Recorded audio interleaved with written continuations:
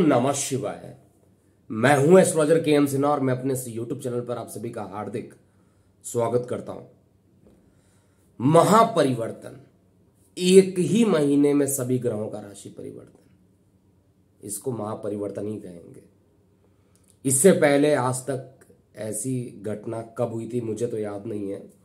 लेकिन एक ही महीने में अगर मैं परमुटेशन कॉम्बिनेशन बनाता हूँ तो भी बहुत पुरानी घटना होगी। एक ही महीने में सभी ग्रहों का लगभग राशि परिवर्तन एक महापरिवर्तन लाने वाला है। और ये कुछ ही दिनों में आप सभी को दिखाई देगा। इस श्रृंखला में आज हम बात करेंगे धनु लगन वाले जातकों पर। ये पूरा महीना अप्रैल 2022 कैसा बीतेगा? तो स्टार्ट करते हैं सबसे पहले। 2022 में जो अप्रैल का मंथ है, उसमें सात अप्रैल को मंगल का राशि परिवर्तन होगा, आठ को बुध का राशि परिवर्तन, इसके अलावा बारह को राहु केतु का राशि परिवर्तन हो जाएगा, तेरह को देवगुरु बृहस्पति का, चौदह को सूर्य देव का राशि परिवर्तन, पच्चीस को मंगल देव का राशि परिवर्तन, सत्ताईस को शुक्र का राशि परिवर्तन और उनतीस अप्रैल को शनि देव का राशि परिवर्तन। एक ही महीने में दो बार तो बुध ग्रह का राशि परिवर्तन हो जाएगा। और चंद्रमा का राशि परिवर्तन सवा दो दिन में होता ही रहता है। तो आज हम बात करेंगे कि क्या होगा धनु लगन वाले जातकों के लिए। एक्सक्लूसिवली धनु लगन वाले जातक के लिए है। आप लगातार कमेंट बॉक्स में भी पूछते रहते हैं, सर, लगन के आधार पर है? जब मैं धनु लगन बोल रहा हूँ, अर्थात लगन के आधार पर ही है। सबसे पहले हम देखते हैं, मंगल देवता आपकी कुंडली में है क्या? तो मंगल देवता आपकी कुंडली के पंचमेश है, आपकी कुंडली के द्वादशेश है।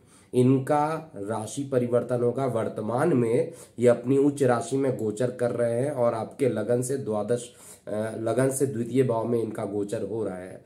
और आपके लगन के अत्यंत योग कारक है। भगवान विष्णु अर्थात गुरु देवता ने आपको अर्थात मंगल देवता को पंचम त्रिकोण दे दिया। और पंचम त्रिकोण जो होता है, नवम त्रिकोण, ये दोनों ही महत्वपूर्ण त्रिकोण कहलाते हैं। पंचम त्रिकोण पढ़ाई का होता है, संतान का होता है, प्रेम प्रसंग का होता है, उदर का होता है, हृदय के कुछ पार्ट का होता है। इसके मालिक होकर योग कारक ग्रह मंगल का राशि परिवर्तन आपके लगन से तृतीय भाव में होगा, मेहनत भाव में होगा। और ये केवल मेहनत का ही भाव नहीं है यह आप मंगल का कारक भाव भी है। तृतीय भाव जो होता है, मंगल का कारक भाव है। कारक भाव में मंगल देव जैसे ही प्रवेश करेंगे, निश्चित रूप से मेहनत बढ़ जाएगी। किस चीज़ के लिए मेहनत बढ़ेगी? शिक्षा में मेहनत बढ़ जाएगी।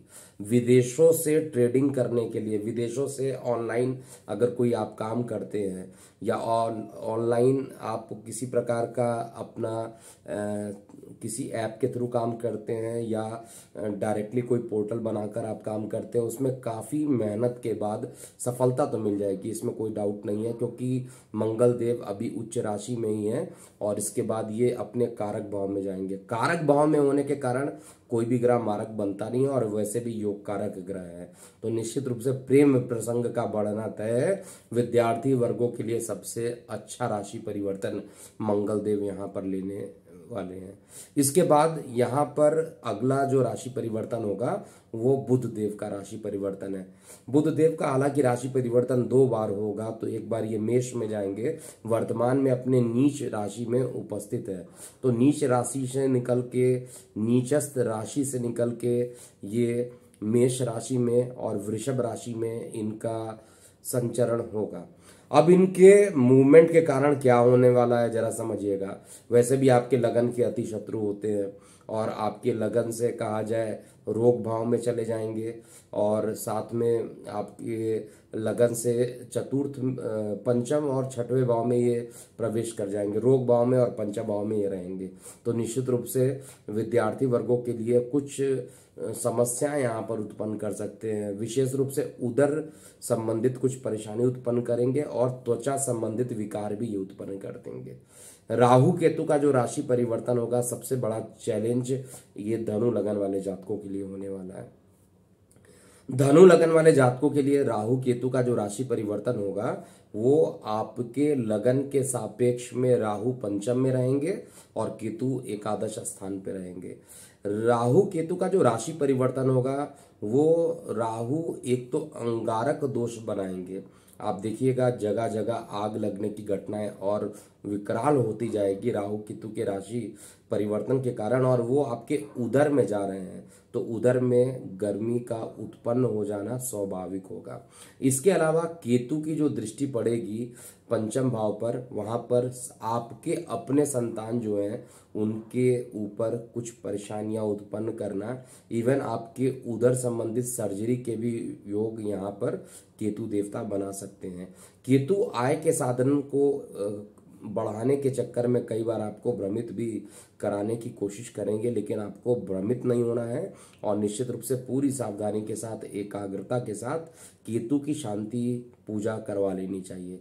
केतु का सोलह हज़ार बार जाप कराने के बाद केतु देवता की शांति पूजन हो जाती है और इसके बाद आपको पाँच टाइप के अनाज को मिलाकर पक्षियों को प्रतिदिन खिला देना चाहिए।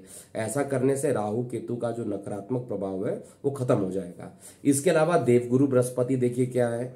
देवगुरु बृहस्पति आपके लग्नेश हैं, देवगुरु बृहस्पति आपके चतुर्थेश है, सुख के मालिक है। आपकी बॉडी बृहस्पति देव से बनी हुई है और आपके शरीर का मालिक जो है आपके सुख स्थान पर जा रहा है। भूमि, वाहन, मकान बनाना चाहते हैं परफेक्ट टाइम है। बृहस्पति का राशि परिवर्तन एक तरफ़ और बाकी राशि परिवर्तन सब एक जगह पर रख दीजिए। तो बृहस्पति देव का राशि परिवर्तन हर प्रकार की शुभता को लेकर आने वाला है। कठिनाइयाँ उत्पन्न होंगी। राहु केतु का राशि परिवर्तन कठिनाई उत्पन्न करेगा। बुद्ध का राशि परिवर्तन त्वचा में विकार उत्पन्न करेगा। लेकिन जो रा, जो देवगुरु बृहस्पति का राशि परिवर्तन है, वो आपके लिए सर्वाधिक लाभ देने वाला होगा। मकान बनाने के लिए अगर इच्छुक है तो निश्चित रूप से आपको ये मकान दिला देंगे। देवगुरु बृहस्पति का गोचर यहाँ पर शुभ है। इसके अलावा आपके लगन के मालिक होकर सुख स्थान पर जा रहे हैं तो शरीर में, यानी आपके चेहरे पर सुख पूरा साफ़ दिखाई देगा। लोग भी कहेंगे, आप एकदम पूरा सुखी दिखाई दे रहे हो। ऐसा चार्ट में भी इंगित हो रहा है। इसके अलावा मंगल देव का राशि पर सूर्य देव का जो राशि परिवर्तन होगा वो सूर्य देव का राशि परिवर्तन अपनी उच्चस्थ राशि में पहुँच जाएँगे और अपने उच्चस्थ राशि में पहुंचकर पंचम में जाएँगे और वो पंचम में राहु के साथ ग्रहण दोष भी बनाएँगे और ये बेहद संवेदनशील समय होगा और ये लगभग पंद्रह दिन का जो टाइम रहेगा, चौदह अप्रैल से लेकर उनतीस अप्रैल तक का जो टाइम रहेगा, वो काफ़ी खतरनाक हो सकता है। यहाँ पर सूर्य का राशि परिवर्तन उच्च का होकर, हालाँकि योग कारक भले ही है, एक त्रिकोण का मालिक दूसरे त्रिकोण में जा रहा है, लेकिन राहु के साथ जब ये ग्रसित होगा तो हड्डियों में दर्द जिनके बहुत ज़्यादा होते हैं, उनके हड्डियों में दर्द को बढ़ा देगा। लेकिन विद्यार्थी वर्गों के लिए थोड़ा सा विद्या अर्जन करने में दिक्कतें उत्पन्न ज़रूर होगा। सूर्य जहाँ पर पूरी ताकत लगाएगा कि विद्या अर्जित हो, मंगल देव अपने कारक भाव में बैठ के खूब मेहनत कराएँगे, वहीं पर राहु आपको भ्रमित भी करा सकता है।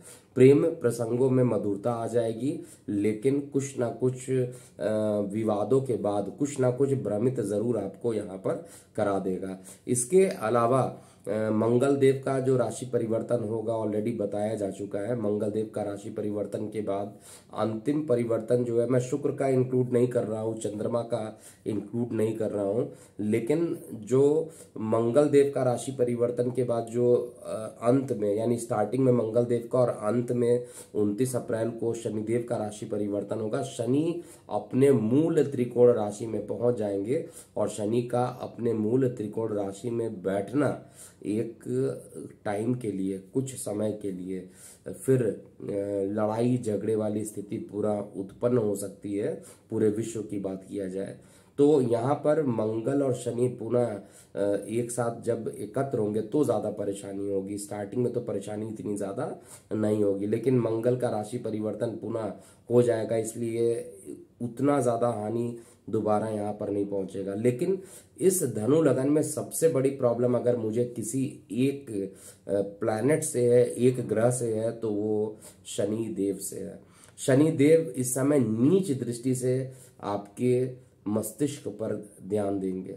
आपके मस्तिष्क को देखेंगे, आपके उदर को देखेंगे, आपके प्रेम प्रसंग को देखेंगे तो निश्चित रूप से जब ये डिग्री वाइज बलाबल इनका बढ़ेगा, सामान्यतः अगर कहा जाए तो एक महीने में लगभग एक डिग्री का ये अपना ग्रोथ कर लेते हैं, सामान्यतः लगभग लगभग। तो जब ये सात या आठ डिग्री के होंगे तो ज़्यादा परेशान करेंगे। इसका मतलब है तत्काल तो परेशान ये नहीं करेंगे, लेकिन लगभग पाँच छः मंथ के बाद जब ये पूरा मेच्योर होने लगेंगे धीरे धीरे तब जाकर आपको परेशान करना प्रारंभ करेंगे। और यहाँ पर जिनको ऑलरेडी पैरालिसिस अटैक हो चुका है पहले उनके पैरालाइज्ड अटैक होने की संभावना भी ज़्यादा बनती है, क्योंकि सूर्य देवता, शनि देवता जब भी नीच दृष्टि से माइंड पे दृष्टि डालते हैं तो ब्रेन स्ट्रोक का बढ़ जाना और साथ में ब्रेन स्ट्रोक होगा तो पैरालाइज्ड होना स्वाभाविक रहेगा। हालाँकि ऐसा ना हो, इसके लिए शनि देव का दान, यानी काले रंग के वस्तुओं का दान ज़रूर करना चाहिए।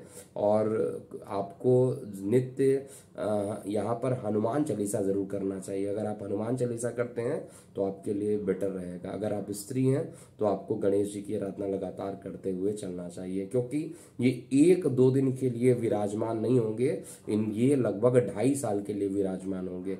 तो ये था ग्रहों का राशि परिवर्तन। अब संक्षेप में देखते हैं स्वास्थ्य कैसा रहेगा। देखिए, स्वास्थ्य का जो डिपार्टमेंट दिया गया है, वो शुक्र को दिया गया और शुक्र जो है, आपके लगन का ही शत्रु है और उच्च का भी हो जाएगा और उच्च का होकर आपके सुख स्थान पर बैठेगा। तो निश्चित रूप से माता को कष्ट देना शुक्र का काम होगा। ये पूरा अप्रैल का जो मंथ रहेगा स्टार्टिंग से लेकर शुक्र के राशि परिवर्तन तक लगभग लगभग अच्छा परिणाम देगा। उसके बाद आपको अकस्मात शुक्र से संबंधित कुछ परेशानी उत्पन्न हो जाना, अर्थात यूरिन इन्फेक्शन हो जाना रिप्रोडक्टरी पार्ट में किसी प्रकार की परेशानी उत्पन्न हो जाना, ये सब शुक्र का काम है। किडनी से संबंधित किसी प्रकार की परेशानी जिनको ऑलरेडी है, उनकी परेशानियों को ये बढ़ाएगा। तो ओवरऑल कहा जाए तो लगभग सत्रह अठारह दिन का जो टाइम रहेगा स्टार्टिंग का वो आपके लिए हेल्थ के पॉइंट ऑफ़ व्यू से अच्छा है, उसके बाद का जो टाइम रहेगा वो धीरे धीरे हेल्थ के लिए खराब होता हुआ जाएगा। परेशानी अगर बढ़े तो निश्चित रूप से आपको जो उपाय बताया गया, उन्हीं उपाय को आपको करना है, दूसरा कोई उपाय नहीं करना है। इसके अलावा अगर आप पार्टनरशिप में कोई नया काम करना चाहते हैं तो पार्टनरशिप में नया काम करने से बचिएगा इस महीने। कोई नया काम मत कीजिएगा। इस समय नया काम करना आपके लिए अच्छा नहीं होगा। जल क्षेत्र से भी थोड़ी सी दूरी अगर बनाकर रखेंगे तो भी आपके लिए अच्छा रहेगा। भाग्य और शेयर सट्टा के मामले में देखा जाए तो सहयोग तो आपको मिलेगा, ये कन्फर्म है। कहीं ना कहीं से आपके पास पैसे का अरेंजमेंट हो जाएगा भाग्य भी साथ देगा, शेयर सट्टा में आपको पॉजिटिव रिज़ल्ट भी मिलते हुए दिखाई देंगे। लेकिन डिस्क्लेमर है, अपने रिस्क पर ही ट्रेडिंग कीजिएगा। मैं जो लेवल बताता हूँ, केवल उस लेवल को वॉच करता हूँ।